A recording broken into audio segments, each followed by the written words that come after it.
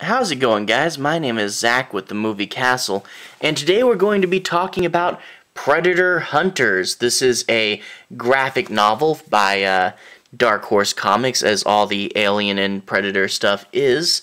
Um, flip it open to the inside. You get the logo here, really big Predator.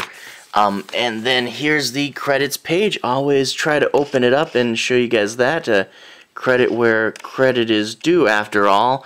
Uh, script by Chris Warner, art by Francisco Ruiz Velasco, uh, lettering by Michael Heisler, and cover art by Doug Wheatley. Although, um, quite unfortunately, with the covers in this one, uh, they don't have them.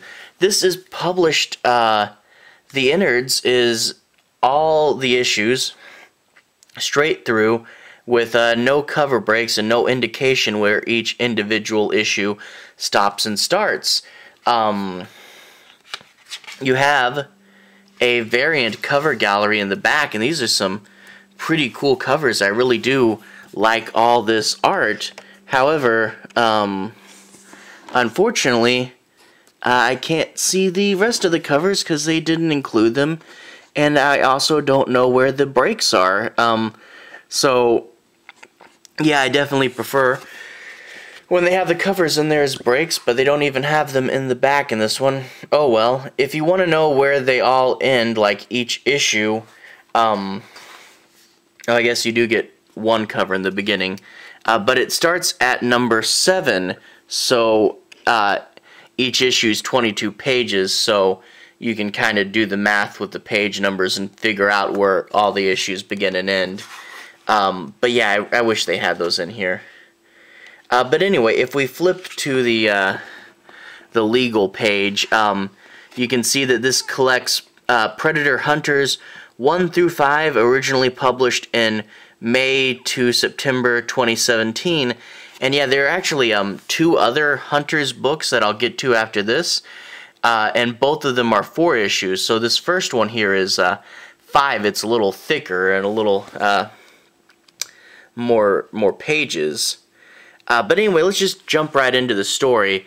Um, I won't spoil anything, but I'll try to go over the basics of the story so you get a, a feel for what this is about, you know, so you kind of know what you're getting yourself into, but I, I won't spoil the ending.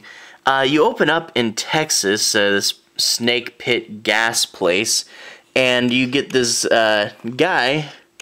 Uh, can I focus? There we go uh, this guy, he's a Native American, and he's talking to his uh, overtly racist boss. Um, to be honest, I, I really wish they hadn't done this. Um, this place, I think it's implied to be Texas, and um, I've lived in Texas all my life, and I uh, just want to say that around here this behavior is not considered okay. I know it's a stereotype and Hollywood, but uh, we really don't do that down here. And I've been here all my life, and to be honest, when I first read this, I thought maybe this book was set in the 60s or something, but no, it's uh, modern day. But anyway, you get this guy, um, Nakai, Naki. Um, I'm not 100% sure how to pronounce that. Um, but you get these uh, strange and mysterious people coming to visit him at his work, you see uh, this guy is actually someone from the previous Predator comics. This is from Predator Big Game from 1992, which if you want to read about that, it's collected in the Omnibus Volume 2.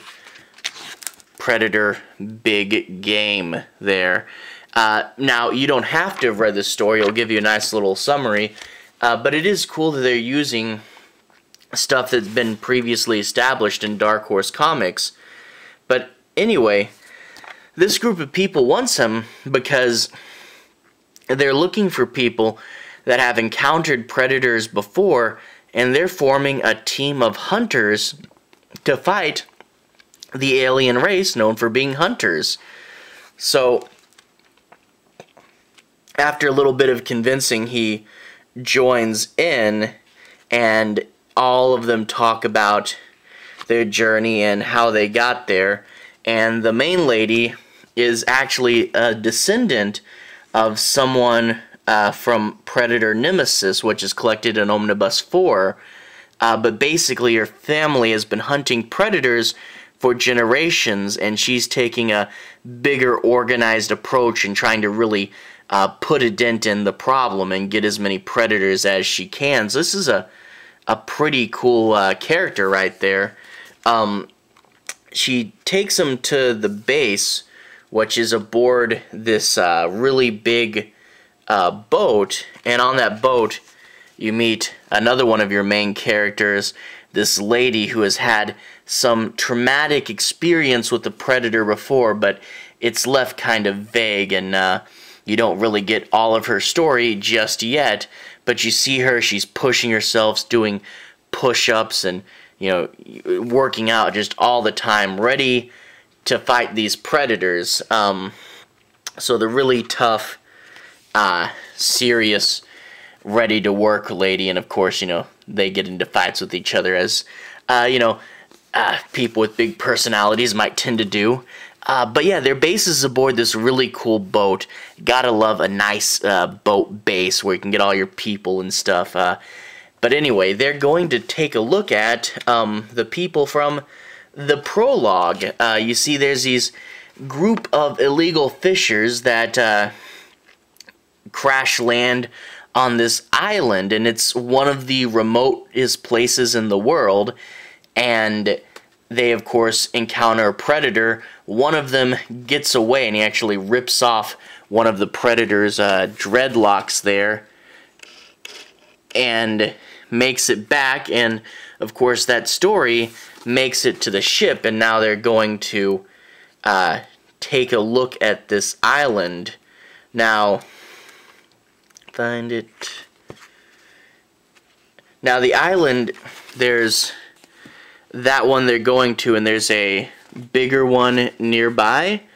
Um, the bigger one nearby, they're going to make themselves known on. Uh, there's actually people living there. There's this uh, doctor from New Zealand, and he's kind of turned this place into a uh, sort of refuge. He wants to preserve more of the natural way of life and living at peace uh, with nature. So that island is inhabited, but of course, this obviously is a case of, hmm, sounds too good to be true. So you know there's probably something up with this, uh, but what's going on there? Um, now, you get in this one your pretty cool standard uh, army people, kind of, you know, ready and more prepared than most people are. So this is a big action heavy story and you know hunters versus uh, hunters and you know it does seem cool and big but ultimately for most of it seems pretty standard you know not bad but um, stories we've seen before you know uh, cool rivalry and they're hunting each other but at the end of the day for a lot of it I thought okay you know, it's good, but it's not unique. But then you get to the fifth volume, and that last volume really actually does take this place into things that I haven't seen before, you know, and it's that last volume that makes it uh, really unique. And they kind of took their time and they wrote the story and they didn't try to rush and cram a bunch into it. So it does kind of feel like, okay, we're going here, we're going to fight them. And it doesn't feel like they're cramming a bunch in and, you know, not trying to put all these layers to stuff. But I think that might be because they probably knew they were going to get a sequel to this.